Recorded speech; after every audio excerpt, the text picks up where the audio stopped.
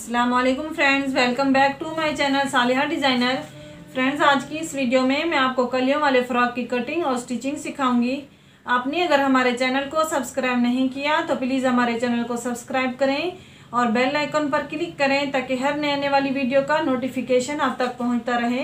Viewers ये एक normal shirt का कपड़ा है, जिससे टॉप के पार्ट पर हम योक और बॉटम के पार्ट पर हम चार कलियाँ डालेंगे।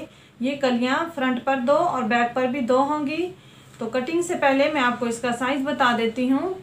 फ्रॉक की लेंथ हम 40 इंच तैयार करेंगे। चेस्ट हम 22 इंच पर तैयार करेंगे। फिटिंग हम 21 इंच रखेंगे। बाजू हम 20 पॉइंट हाफ़ इंच पर तैयार करेंगे। और ये हमने पाँच गज लेस ली है, जो हम कलियों में एडजस्ट करेंगे। ये देखिए बहुत ही खूबसूरत लेस है, सीढ़ी टाइप की। अब हम कटिंग शुरू करेंगे। सिलाई का मार्जिन रखते हुए हम इस बॉर्डर को उतार लेंगे। अब हम इस कपड़े की उरेब निकालते हुए इसको सीधा कर लेंगे और टॉप के पार्ट को अलग कर लेंगे। फ्रेंड्स ये साढ़े चौदह इंच पर हम योग तैयार करेंगे। सिलाई और कटिंग का मार्जिन रखते हुए हम साढ़े सोलह इंच पर इस हिस्से को अलग करेंगे। ये देखें, ये डबल पार्ट है, फ्रंट और बैक का।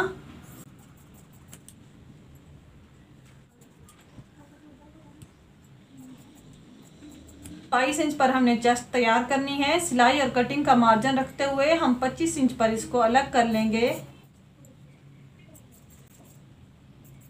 अब हम इस तरह फोल्ड करेंगे।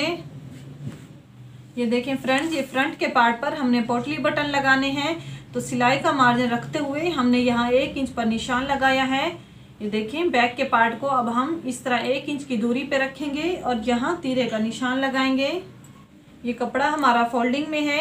तीरा हमने पंद्रह इंच तैयार करना है तो सिलाई का मार्जिन रखते हुए हम सोलह इंच पर निशान लगाएँगे। ये देखें, इंची टेप को इस तरह रखते हुए। शोल्डर की हमने तिरछी कटिंग करनी है तो उसका मार्जिन रखते हुए हम आर्म होल के लिए नौ इंच पर निशान लगाएँगे। अब हम इस तरह लाइन ड्रा कर लेंगे। यहाँ से हम इस तरह गुलाई देंगे। चेस्ट हमने 22 इंच पर तैयार करनी है। तो इस तरह इंची टेप को रखते हुए हम 11 इंच पर निशान लगाएँगे। फिटिंग हम 21 इंच पर तैयार करेंगे। तो इंची टेप को इस तरह रखते हुए हम साढ़े दस इंच पर निशान लगाएँगे। अब इस तरह लाइन ड्रा कर लेंगे। शोल्डर से हम इस तरह तिरछा निशान लगाएँगे।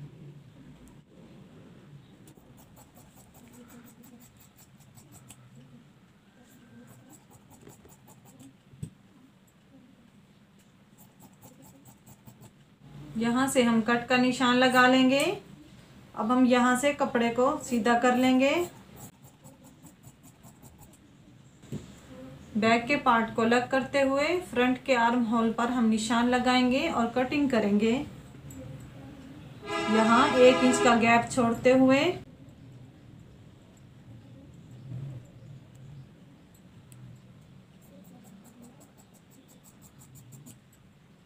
अब हम बॉटम के पार्ट की कटिंग करेंगे। वीवर्स चालीस इंच पर हम फ्रॉक तैयार करेंगे। तो साढ़े चौदह इंच हमने योग के लिए कपड़े को अलग कर लिया है। साढ़े तीन इंच पर हमारा पैच लगेगा। तो ये अठारह इंच का हिस्सा निकालते हुए बाकी हमने बाईस इंच पर ये सेंटर का पार्ट और कलियों के लिए कपड़ा अलग करना है। ये सिलाई का मार्जिन रखते हुए हमने तेईस इंच पर ये कपड़ा अलग कर लिया है। वीवर्स ये इक्कीस इंच पर हमने फिटिंग तैयार करनी है। चार चार इंच की हमने दो कलियाँ डालनी हैं तो बाकी हमारे पास तेरह इंच बचेगा। ये देखें, सिलाई का मार्जिन रखते हुए हमने चौदह इंच पर इस कपड़े को अलग कर लिया है।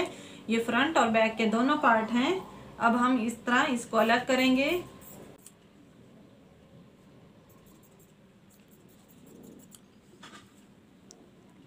अब इसी सेंटर के पार्ट का साइज़ करते हुए हम कलियों के लिए भी कपड़े को अलग कर लेंगे।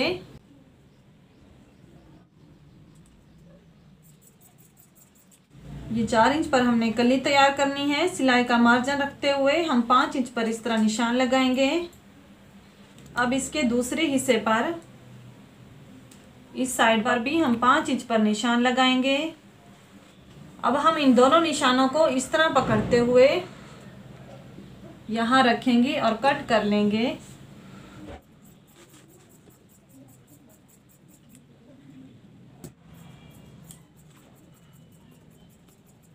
अब हम सेंटर के पार्ट को इस तरह फोर लेयर में रखेंगे।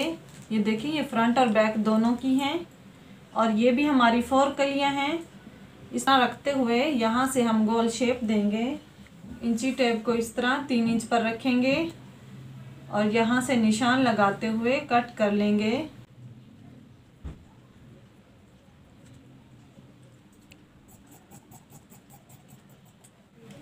अब इसके बाद हम बाजों की कटिंग करेंगे। ये देखें, बाजू के लिए हमने कपड़े को इस तरह बिछा लिया है। ये कपड़ा हमारा चौड़ाई में कम है, ये बैक साइड पर हम जोड़ लगाएँगे। ये डबल जोड़ हैं, इस तरह रखते हुए। अब हम फोल्ड करेंगे। ये आर्म होल का साइज़ हमने नौ इंच रखा है तो इसलिए इस बाजू की चौड़ाई भी हम, ये देखें, सवा नौ इंच पर निशान लगाते हुए कटिंग करेंगे। और यहाँ से साढ़े तीन इंच की दूरी पर इंची टेप को रखते हुए हम निशान लगाएँगे।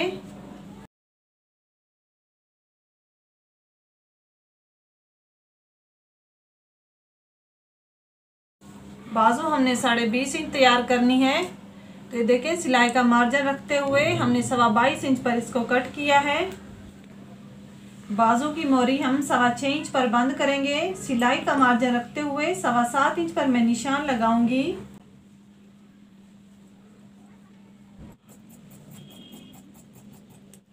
ये हम फ्रंट के दो पार्ट उठाएँगे, ये देखें। और यहाँ से निशान लगाते हुए फ्रंट के आर्म होल की हम कटिंग करेंगे।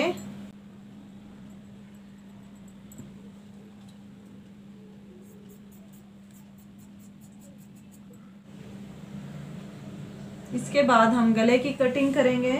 गले की कटिंग के लिए हम बुकरम को इस तरह फोल्ड करेंगे। मैंने ये गले की चौड़ाई सात इंच रखनी है। आपने अपने हिसाब से रखनी होगी। ये देखिए, साढ़े तीन इंच पर मैं निशान लगाऊँगी।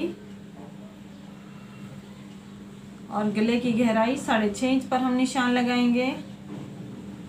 अब हम इस तरह निशान लगा लेंगे।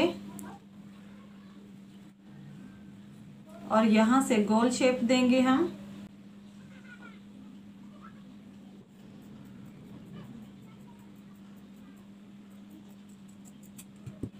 एक इंच की दूरी पर अब हम यहाँ से कटिंग कर लेंगे।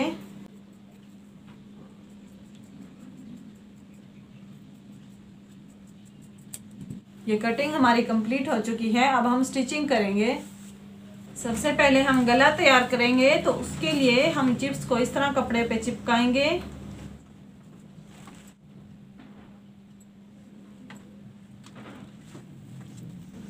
ये सेंटर वाला हिस्सा रखने से हमारा गला टेढ़ा नहीं होता। ये एक्स्ट्रा कपड़े को इस तरह कटिंग कर लेंगे। अब हम इन दोनों हिस्सों को आपस में टच करते हुए सेंटर करेंगे। और यहाँ कट का निशान लगा लेंगे। इसके सेंटर में से कट करते हुए इसको अलग कर लेंगे। ये देखिए फ्रेंड्स ये फ्रंट के पार्ट पर हमने एक्स्ट्रा मार्जिन रखा था। यहाँ चिप्स की स्टिप चिपकाते हुए हमने प्रेस कर लिया है। अब हम इसको इस तरह फोल्ड करते हुए यहाँ तुरपाई कर लेंगे। ये देखिए फ्रेंड्स इसकी तुरपाई करते हुए ये हमने पोटली बटन बना लिए हैं और साथ ही हमने ये डोरी निकाल ली है। ये डोरी बनाने और पोटली बटन बनाने का लिंक मैं डिस्क्रिप्शन में डाल दूँगी। आप हमारी वीडियोस में देख सकते हैं कि ये कैसे बनाए जाते हैं। अब हम इस हुक को इस तरह रखेंगे पोटली बटन के ऊपर और निडल के साथ इसको अटैच कर लेंगे।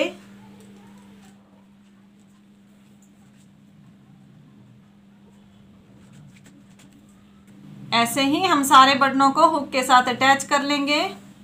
इसके बाद अब हम इंची टेप को इस तरह रखेंगे और सात इंच पर निशान लगाएँगे। और हमने ये सटीप तैयार कर ली है। इसके लिए पहले हम राइट साइड वाले हिस्से को जोड़ेंगे।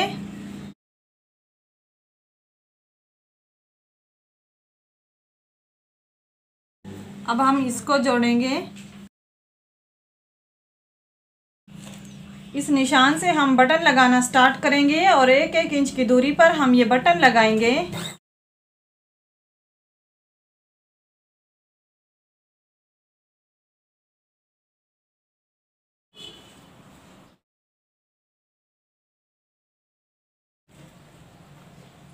आप चाहें तो वन साइड फुट से भी लगा सकते हैं।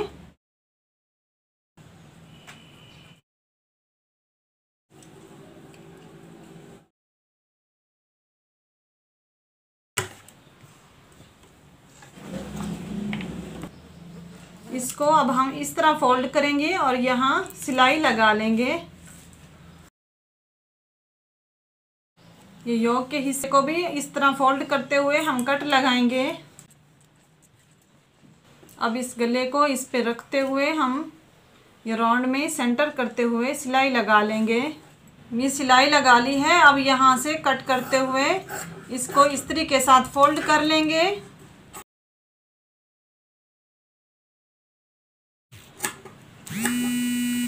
अब हम इसको इस तरह फोल्ड करेंगे और प्रेस कर लेंगे। अब हम फ्रंट के पार्ट को इस तरह फोल्ड करेंगे। और बैग के ऊपर रखते हुए हम बैग के गले की कटिंग करेंगे। यहाँ से साइज़ करते हुए।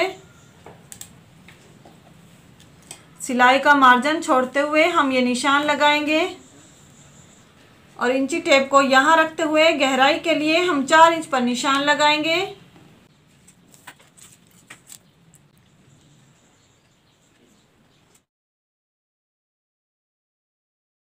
बैक के गले के लिए हम उरेम में स्ट्रिप कटिंग करेंगे। और ये सवा इंच की दूरी पर हम फिर से कटिंग करेंगे।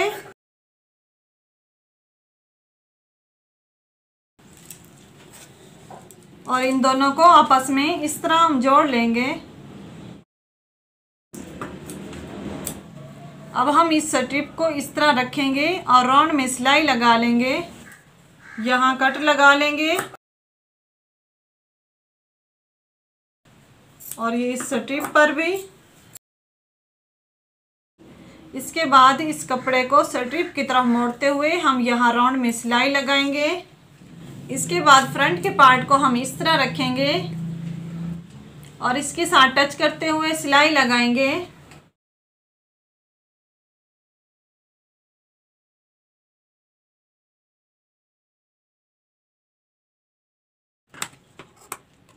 अब हम इस पट्टी को इस तरफ़ मोड़ते हुए, ये देखें, ये फ्रंट और बैक के गले की हम तुरपाई कर लेंगे। ये तुरपाई हमने कर ली है, अब हम चेस्ट और फिटिंग का निशान लगाएँगे। इंची टेप को इस तरह सेंटर में रखते हुए हम 22 इंच पर निशान लगाएँगे। ऐसे ही इस तरफ़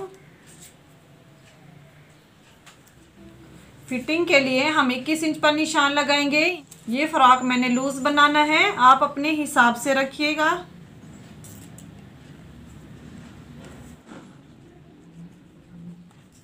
अब हम इस तरह निशान लगा लेंगे। और यहाँ सिलाई लगा लेंगे।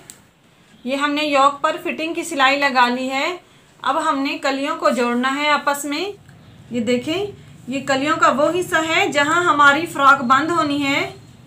तो अब हम इस कपड़े को यहाँ फोल्ड करेंगे और लेस के ऊपर इस तरह रखते हुए सिलाई लगाएँगे। ये एक साइड पर हमने सिलाई लगा ली है। अब हम इसके दूसरे हिस्से को इस तरह फोल्ड करते हुए यहाँ से पिन अप कर लेंगे और यहाँ से सिलाई शुरू करेंगे। ये हमने दूसरी साइड पर भी लेस अटैच कर ली है। अब हम इसको सीधा करेंगे।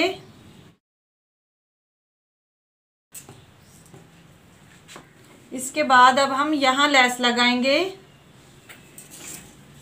और तीनों तरफ़ ये लेस अटैच कर लेंगे। ये हमने चारों कलियों पर लेस अटैच कर ली है। अब हम सेंटर के पार्ट को इस तरह फोल्ड करते हुए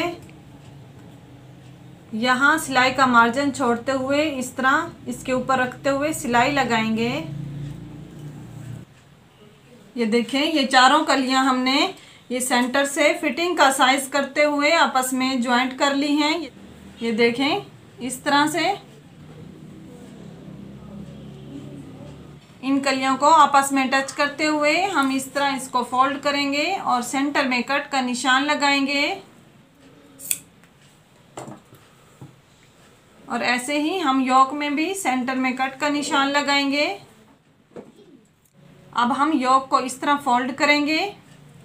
और जहाँ हमने ये सेंटर में कट का निशान लगाया है, इसके ऊपर रखते हुए यहाँ सिलाई लगाएँगे और योक को फ्रॉक के साथ फिक्स कर लेंगे।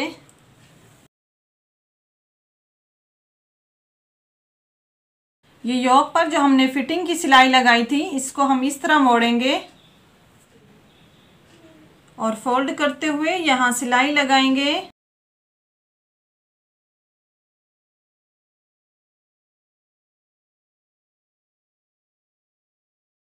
ये योक अटैच करने के बाद अब हम नीचे की तरफ़ बॉर्डर लगाएँगे।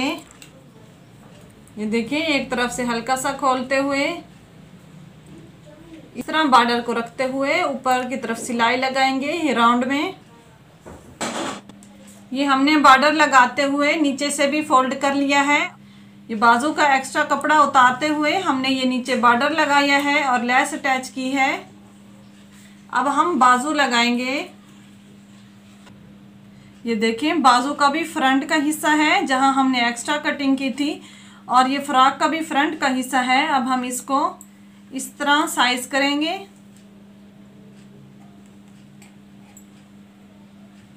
और यहाँ अपनी सिलाई ख़त्म कर देंगे।